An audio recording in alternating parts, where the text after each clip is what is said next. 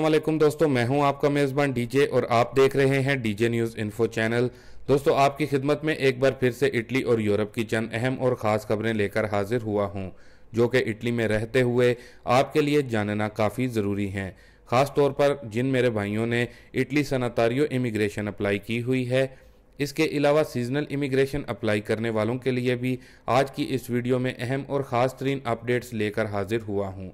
Italy की seasonal immigration को भी खतरा लहाक। मजीद इटली तारकिन वतन की भरपूर इटली में आमद। इटली के नए वज़ीर अजम को माइग्रेशन के पहलू पर गौर करने का अंदिया। और मेरे दोस्त जो कि जर्मनी से हमारी वीडियोस को देखते हैं, उनके लिए अहम खबर कि जर्मनी ने अफगानियों समेत अब पाकिस्तानी तारकिन वतन को भी डिपोर्ट करना शुरू कर दिया। दोस्तों, आज की इस वीडियो में आपके साथ मुकम्मल तफसील शेयर करूँगा। आपसे इल्तमास है कि वीडियो को गौर से देख लें, ताकि आप इटली और यूरोप के हालात वाक़ात से बाखबर हो सकें। जो भाई मेरे चैनल में नए आए हैं, वो चैनल को ज़रूर सब्सक्राइब कर लें, वीडियो को लाइक कर दें और आगे दोस्तों के साथ भी वीडियो को ज़रूर शेयर करें, ताकि आपकी बदौलत और भी भाई आज की इन ताज़ा तरीन खबरों को जान सकें।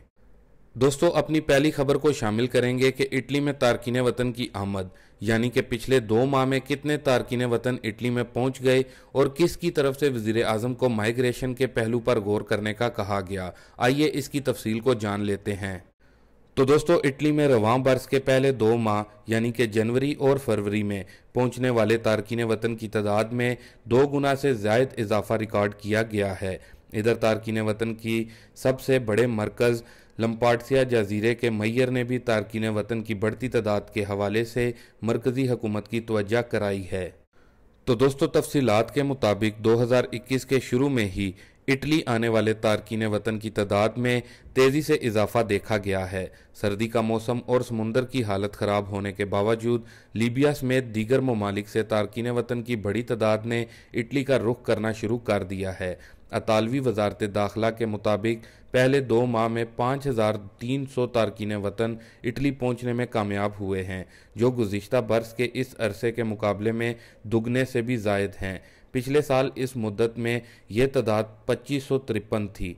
फरवरी में सबसे ज़्यादा तारकिन वतन अठतीस सौ छियानवे पहुँचे हैं। इस दौरान ट्यूनस से तारकिन वतन की आमद में सबसे ज़्यादा इजाफा देखा गया है। तो दोस्तों तारकिन वतन की आमद में इजाफे से जजीरा लम्पाटसिया के मैयर तूतो मार्टेलो परेशानी का शिकार हैं। लम्पाटसिया के मैयर का कहना है कि इन्हें लीबिया से इटली का रूट एक्टिव होने पर तशवीश है। आगे जाकर जब समुंदर में मौसम बेहतर हो जाएगा तो फिर क्या होगा? वो इस बारे में अभी से परेशान हैं। उन्होंने कहा कि इस वक्त तो सूरत हाल कंट्रोल में है और वजारत दाखिला के जहाज़ करंतना की सहूलत फराहम भी कर रहे हैं। लेकिन आगे जाकर तारकिन वतन की आमद बढ़ती है तो फिर क्या होगा? हमें असल मसला पर तवज्जो देनी होगी और वो मुतलका ममालिक से तारकिन वतन की आमद को रोकना होगा, वरना हम एमरजेंसी का ही शिकार रहेंगे। उन्होंने वज़ीर अजम मारियो द्रागी पर भी ज़ोर दिया कि वो माइग्रेशन के इन पहलुओं पर तवज्जा दें। तो दोस्तों, इसके साथ ही अपनी अगली खबर को शामिल करते हैं कि जर्मनी ने अफगानियों समेत पाकिस्तानियों को भी डिपोर्ट करने का अमल तेज कर दिया।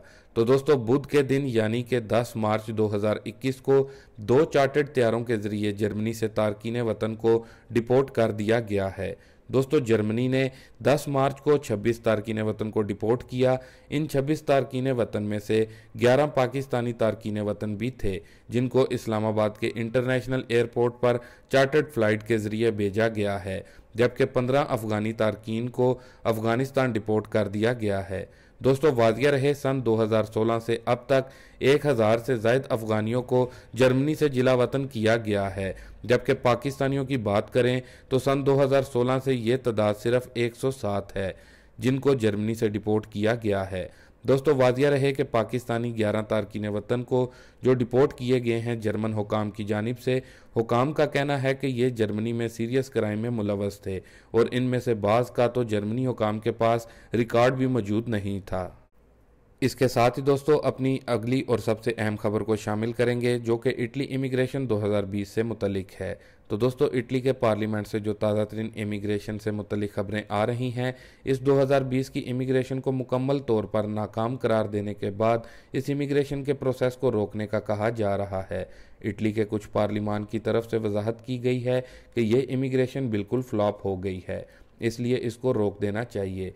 क्योंकि हुकूमत ने ये इमिग्रेशन इटली में, ज़रात के शोबे में नुकसान को रोकने के लिए खोली थी, लेकिन इस इमिग्रेशन में ज़रात के शोबे में बस चंद हज़ार दरख्वास्तें ही दायर हुईं, और जो दरख्वास्तें दायर हुई थीं, इन पर भी कोई सही तरीके से अमल दरामद नहीं हो रहा। इन पार्लियामेंटेरियन का ये कहना था, इमिग्रेशन 2020 से मुतलिक दोस्तों, जबकि दूसरी जानब अटालियन वजारत दाखिला और वाइस मिनिस्टर का कहना था कि ऐसा हरगिज़ भी अब नामुमकिन है कि इमिग्रेशन के इस प्रोसेस को बंद कर दिया जाए या फिर रोक दिया जाए, क्योंकि अब दो लाख सात हज़ार दुमानदे हुए हैं और जिन्होंने ज़रात में दरख्वास्त दी थी, उन सबको इमिग्रेशन दी जाएगी, क्योंकि अब वैसे भी इटली में सीज़न शुरू होने के करीब है और इन गैर मुल्कियों को लीगल स्टेटस देने से इटली की हकूमत और माशियत को ही फ़ायदा होगा। तो दोस्तों, इसके साथ ही इटली के सीजनल वर्क परमिट की बात करें तो अटालियन कुछ मिनिस्टर का कहना है कि अगर इस इमिग्रेशन फ्लूसी के वीज़ों में इतनी तखैर की जा रही है तो इससे बेहतर है कि इसको बंद कर दिया जाए। जैसा कि दोस्तों आप सब जानते हैं कि 30,850 के करीब कोटा रखा गया था और ताज़ा तरीन रिपोर्ट के मुताबिक जो अटालियन सीजनल वर्क परमिट के अदादोशुमार बताए गए हैं उनके मुताबिक 2020 फ्लूसी इमिग्रेशन में 50,000 से जायद दरख्वास्तें जमा करवाई गई हैं जबकि 18,000 के करीब सिर्फ़ और सिर्फ़ ज़रात के शोबे में कोटा रखा गया था और बाकी का कोटा दूसरे शोबाजात के लिए था। दोस्तों, कुछ मुखालिफ इटली की पार्टियों की तरफ़ से सीजनल इमिग्रेशन को रोकने का भी कहा जा रहा है, लेकिन वाजिया रहे, अब इसको रोकना नामुमकिन है। जैसा कि आप सबको मालूम ही है कि अब काफ़ी सारे लोगों को नोला उस्ता मिल चुके हैं और रोज़मर्रा की बुनियाद पर भी नोला उस्ता निकल रहे हैं। दोस्तों, वाजिया रहे, इस वक्त अटालियन हुकूमत का जो ज़्यादा ज़ोर है, वो इटली के सीजनल वीज़ों को जल्द अज जल्द ख़त्म करने की कोशिश में हैं। क्योंकि इटली में अप्रैल के आगाज़ से इटली में सीजनल काम का फौरी आगाज़ कर दिया जाता है। क्योंकि पिछले साल भी इटली को सीजनल काम में भारी नुकसान उठाना पड़ा है। दोस्तों, वाजिया रहे कि इस सीजनल इमिग्रेशन से मुतलिक Italian vice minister Matteo Mauri की तरफ़ से उम्मीद दी गई है कि मार्च के आखिर तक या फिर अप्रैल के पहले वीक तक वो इटली के सीजनल परमिट को मुकम्मल कर देंगे। जबकि नॉन सीजनल परमिट की बात करें तो उसको भी मुकम्मल करेंगे, लेकिन उस हवाले से अभी तक कोई सॉलिड वक्त नहीं बताया गया। तो दोस्तों, इसके साथ ही अपनी अगली और आखिरी खबर को शामिल करेंगे, जो कि यूरोपीय मुल्क पर चलाकी का इल्ज़ाम, कानूनी तारकिन वतन पर जर्मनी ने अहम फैसला कर लिया। तो दोस्तों, दुनिया के गरीब ममालिक से ताल्लुक़ रखने वाले तारकिन वतन यूरोपीय ममालिक पहुँचने की कोशिश करते रहते हैं और यहाँ पहुँचने के बाद इनकी कोशिश होती है कि वो यूरोप के भी ज़्यादा खुशहाल और सहूलत वाले ममालिक में जाकर बसें। इनमें जर्मनी और बरतानिया सर फहरिस्त हैं। ताहम, अब जर्मनी ने एक यूरोपीय मुल्क से आने वाले कानूनी तारकिन वतन के बारे में अहम फैसला कर लिया है हुकाम का कहना है कि यूरोपीय मुल्कों में जिन तारकिन वतन को सियासी पनाह मिल जाती है यूरोपीय यूनियन के कवायद के मुताबिक इन्हें रुकन ममालिक में कानूनी तौर पर सफ़र की इजाज़त होती है, लेकिन वो दूसरे यूरोपीय मुल्क में तीन माह से जायद क्याम नहीं कर सकते। तहम तारकिन वतन सफ़र की कानूनी सहूलत का गलत फ़ायदा उठा रहे हैं। बिलखसूस यूनान में पनाह के केस मंजूर होने के बाद तारकिन वतन इन दस्तावेज़ात पर जर्मनी का रुख करते हैं और यहाँ दूसरी बार पनाह की दरख्वास्त दायर कर देते हैं। सिर्फ़ गुजशत दो माह के दौरान यूनान में सियासी पनाह हासिल करने वाले 2000 से जाहिद तारकिन वतन जर्मनी पहुंचकर यहाँ भी पनाह का केस फ़ाइल कर चुके हैं और इनका मौकफ होता है कि वो पहले ही यूरोपीय मुल्क में पनाह के हकदार ठहराए जा चुके हैं। इसलिए इन्हें जर्मनी में भी कागजात दिए जाएँ। तहम अब जर्मन हुकाम ने ऐसी दरखास्तों पर काम रोक दिया है। जर्मन अखबार के मुताबिक ऐसे तारकिन वतन जो पहले यूनान में पनाह हासिल कर चुके हैं, इनकी दरखास्तों पर कार्रवाई रोकी गई है। दोस्तों वाजिया रहे जर्मन माइग्रेशन ऑफ़िस के मुताबिक गुजशत बरस भी ऐसे सात हज़ार एक सौ तारकिन वतन ने जर्मनी में पनाह की दरख्वास्त दी थी, जिनके केस पहले से यूनान में मंजूर हो चुके थे। इस हवाले से जर्मन पार्लिमान की दाखिला कमेटी के रुकन का कहना था कि यूनान की जानब से फॉलोपल का भी खदशा ज़ाहिर किया गया है।